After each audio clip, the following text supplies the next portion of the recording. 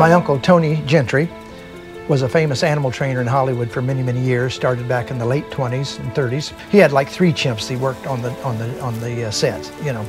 And Cheeta, the one I have here today, is, is the, the last one.